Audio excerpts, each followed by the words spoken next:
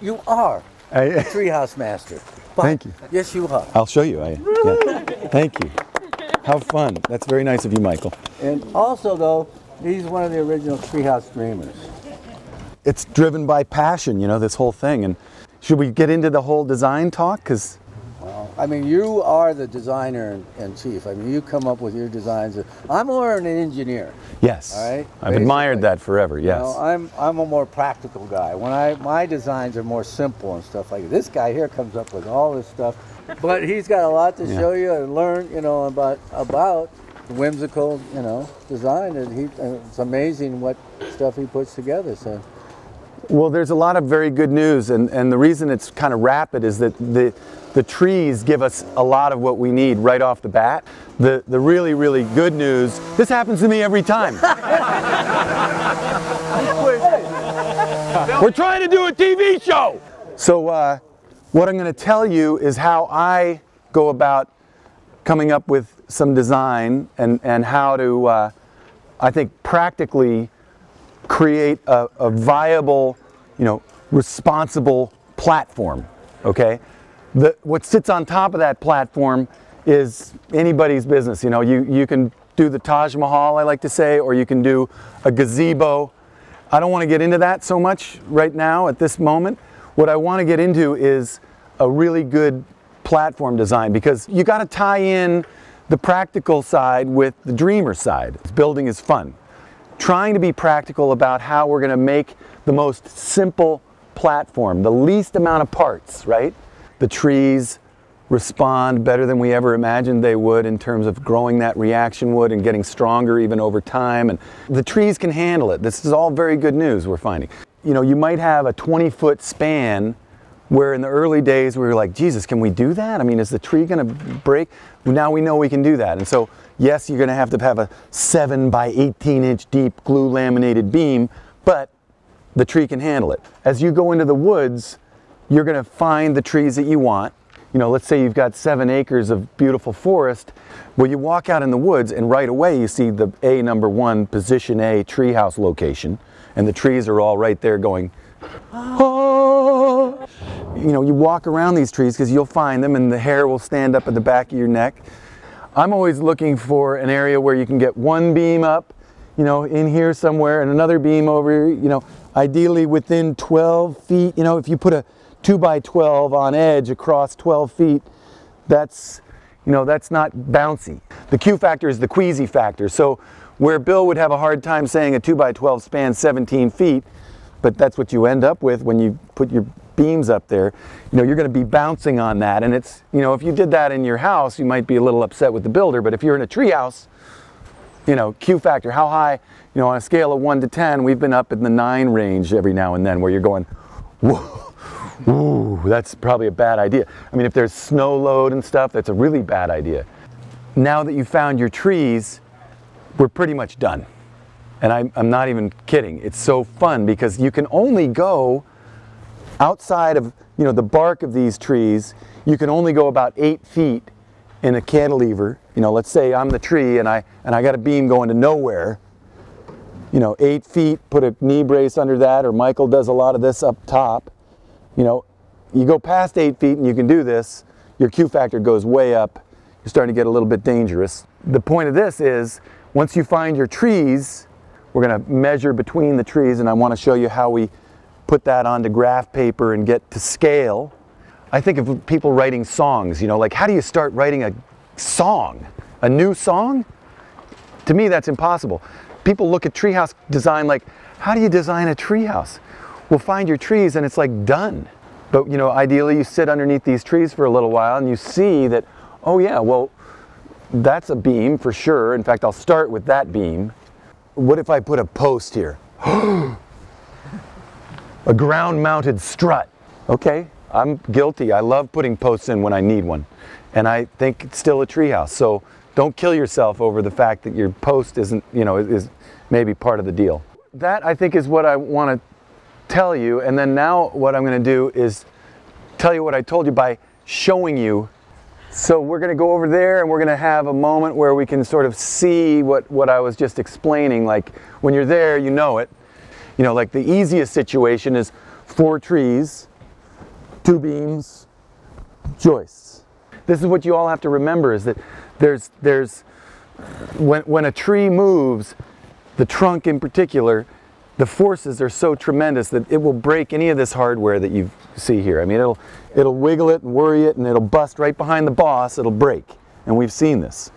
And if you think that you're somehow going to be able to tie these trees together, you're mistaken. And okay, so let's go over to those trees. Um, what I'm going to do there is show you how I measure things. And let's say you've got, I don't know how many acres Michael has, but you know, you, you're looking for trees. You come over here and your life is instantly easy. Look, oh my God. You've got, you've got two options. One, a beam across these guys, one this way, one this way. Or the second option, one this way and one this way. But you know, with that 12 foot thing, I think we can guess this is 20 feet or so and we'll, we'll do all this measuring. But does everyone agree that this is like the easiest set of trees that you can ever imagine for a tree house? And does, does everyone see this? So if you want to spend a lifetime building a platform, we're going to go see what the setups look like there. I mean, sometimes you only have the trees you have and they may not be like this. But this, this is as easy as it gets. So you put a tab in the tree, one, two, you know, uh, let's just do the spin. Would you hold that, Dale, just against that? 21 feet, 22 feet. I'm thinking, okay, platform height, that, I think that wire is too high for me. I, would be down, this is just me, I'd be down at 12 or 14 feet. I'll show you what that looks like. You know, if I imagine I'm up that high, I'm gonna go bark to bark and I'm gonna make notes here now. Okay, I'm seeing 23 feet. I, I've got examples of what these surveys look like in this little book because this is all I bring. I bring this and a tape and a pencil I'm thinking that this is the set of trees, we know that. This one's here, this one's here. Fill these boxes in with measurements. You know, combinations of all. You've got four trees here. So, you know, one, two, three. This tree, and I, and I number them. So I'm gonna call that tree number one, tree number two, number three, number four, no particular reason for that order. And then we just saw 23 feet, zero inches. I get the diameter. Yeah, 28 inches, that might be. So I go tree number two here, 28 inch diameter. Tree number one, I'll do the same thing over there. You get all the combinations of, of the numbers here, right? And then I always use half inch scale. Quarter inch is a typical scale for architects. Um, I love this. Uh, this is the stuff that I get. This uh, this graph paper. graph paper. You know, it's sort of see-through, so you can have you know, you can layer things up and, uh, and see through it, right? When you do the layout like this, all the angles become apparent. So say one and two right here in front of us will begin the whole thing. And here's, here's a really simple way to do it. I know I'm gonna have a beam and that beam is gonna be straight as an arrow. Oop. And that beam is also, in my experience, there's nothing less than a six inch by 18 inch to span 23 plus middle of the trees, you know, you're talking 24, 25 feet. So I'm gonna, I'm gonna just, to scale, half inch scale, draw this beam in here. Boom, boom. Make it a little fatter by getting underneath that template a bit. And we have 23 feet across. I've dropped off three inches because, you know, the tabs, the, the Garnier limbs, have a little boss that sticks out three inches or so before that beam hits. There's 23 feet and this one we're going to guess, is that about the same size or a little smaller? Smaller. So we'll call it 24. So we have we know that 13 feet here is right there. 23 feet here is there's 20, 20, 21, 22, 23. Boom. And here's where that arcs out. Boom, doo, doo, doo, doo.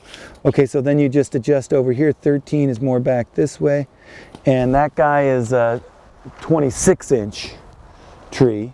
So you see how I arc that and that just kisses there and this just kisses there and we've got our 21 and you just bring this little template up and you kiss it against those arcs you made and there it is in real that's it there's no arguing about that it's there okay so then this guy is uh, and it's only 19 inches in diameter and this guy gets in there and you you're done with this you, you you're you're set this is set in concrete this now you get to play with Okay, so you're going to put a beam over here. We know this. We might as well. And it doesn't have to be, you know, parallel is what I was going to say.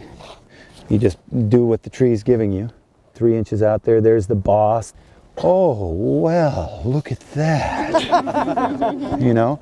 You know, I try to have all the joists stay a good foot foot off the bark of the tree. You know, these these big beams, you know, they're going to these trees are going to grow and they're eventually going to hit against that beam and you know, for a long time I just imagine maybe it just pushes the the beam off the, to the end of the tab like a like a sidewalk gets lifted by the roots of a tree and I'm not sure that that's really happening. Once the weight's on this thing, that the tree might start bolster blocking and absorbing it, and really nice bark behind that. And uh, you know, I'd imagine in the early days that you know you do that, and then what's happening behind? Is it like bubbling and festering and becoming a big rotty problem? It's not. It's like we pulled beams off of these trees, and there's beautiful bark behind everything. So, so the you know the next level of structure is the joist, and I would love to say put those joists as far away as you can from the tree. So pressure treated joists um, or cap everything and then put your deck down. Um, another, another thing, you know, as you start to build on top of your platform that I've noticed, um, let's say that the edge of your, your structure, whatever you decide to draw, is, is here. You know, you've got a wall coming down. And just make sure that, that, you know, put another joist in here, even if it doesn't lay on the two foot setup, put a joist in there, make sure that you've got, you know, an inch or two of room between the face of your building and the decking. Let all that slide down. And then on this side where you can't do it, where you know you've got your joist running right through the building, flash the bejesus out of it here. Make sure that there's a water break, you know, like cut it even a little bit and put it, your flashing down there, make it a nice drip edge and just make sure you get, because that water that comes down into that creeps back in here and rots all that out.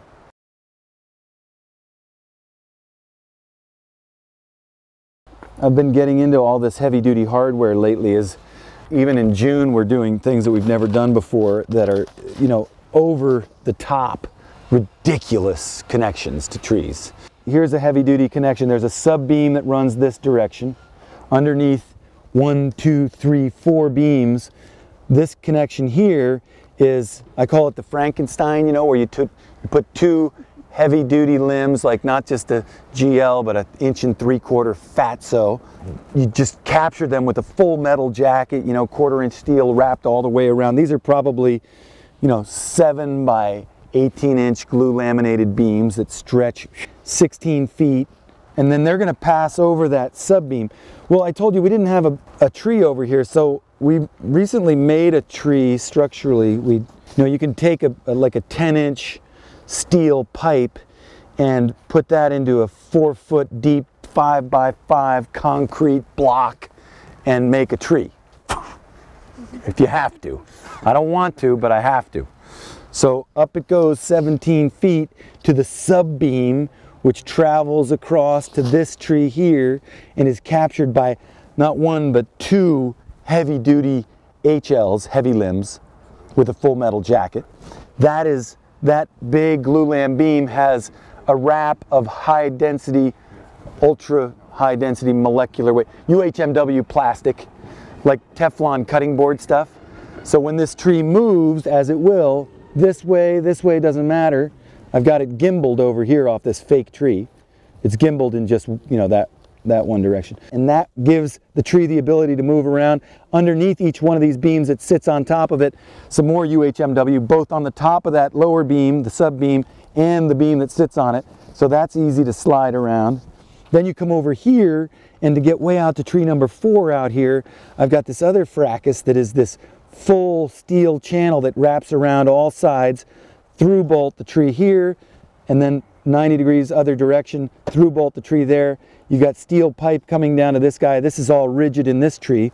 This all moves. Everything moves, moves, and they can move freely. It's just a matter of spending the time to think of how this might work together and still support something that's substantial. By the way, there was a second story. They want to do a bedroom on top of the bar. So this thing's going to weigh 50,000 pounds of structure. It's going to be heavy. So, to, so let your mind, you know, by all means, think about what it looks like, the structure that's on top of your platform. But the point of all this talk today is how do you make a good, solid platform that's going to withstand wind and uh, time?